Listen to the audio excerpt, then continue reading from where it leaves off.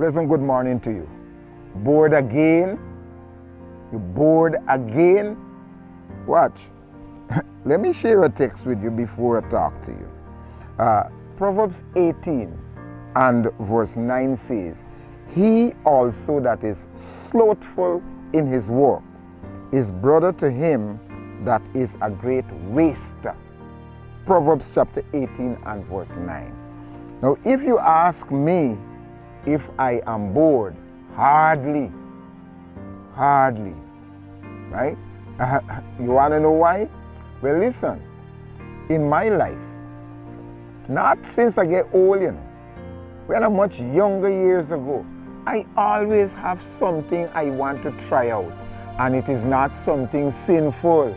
Yeah, I always have something I want to try out. I want to chip some piece of wood. I want to make a roller. I want to make something, some boat, something. I always want to try something. And then sometimes I vex when sun down, right? That's when I was a boy because nighttime. I didn't grow up where electricity is, so I can't get to continue what I'm doing. Uh, listen, why are you bored? I'm giving you some questions to ask yourself. Are the people who are in your age range bored also? How bored are you? What do you do on a daily basis? And then, is it that you're bored because your device failed and you can no longer be in touch with the thousands of individuals on social media and interact with them? Well, if that happens to me, I still will not be bored. So let me, let me help you to understand how not to be bored. Uh, first of all, go to bed early. Sounds funny, go to bed early. Just last night I was listening to a psychologist and he pointed out that a lot of people keep saying that they are not morning persons. And he said, you know why they're not morning persons? Because they go to bed late. If they change up when they go to bed, they end up being very creative in the morning. So go to bed early. Then ask God to help you uh, to get up early.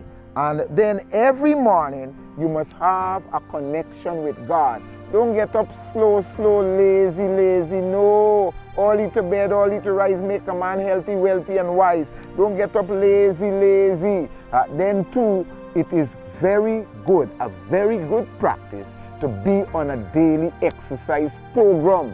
When you're on a daily exercise program, your body functions at maximum. Uh, then, uh, in spite of what you do as a job, listen, you must have something else you like doing that will take your mind off of the stress and worry of the day. Then, further, uh, if you work, you must not only work to pay bills, you must find something else to do that will assist some less fortunate individual. Not necessarily just giving them money, you know. No, not necessarily that. No, find things to do, advice, counsel, uh, some child in your street or some child in the neighborhood or some teenager who uh, has lost a father, who is an orphan, who you can attach yourself, you know, be friendly with and help to guide them. Yes, uh, you see, uh, when once you are involved in a daily basis of doing things that please God and also helping at least one person during the day, then it's difficult for your life to be a boring one. Let me read back the text. The text says uh, in Proverbs chapter 18 and verse 9, He also that is slothful in his work is brother to him that is a great waster. Don't be a great waster. By the way, many individuals, uh, social media and electronic devices cause their life to be boring. Why? Because they are always uh, depending on these devices to spike up their life. I don't do that. By the way, I'm not saying you mustn't look at no show. So no, I'm not saying that. But you see, after a while, if you're just accustomed to these devices uh, pleasuring you, when there's nothing pleasurable on them, then you're bored. Further, these same devices Uh, that's the open wall university. Uh, they can teach you, they, can, they have tutorials uh, to assist you in uh, being better in some area. So explore it.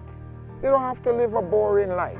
Uh, so today, remember, remember uh, that God doesn't want you to waste time away and get in the habit of going to bed earlier, getting up earlier, and you will be more productive and less boring during the day. Our God and Father, thank you so much for your goodness towards us.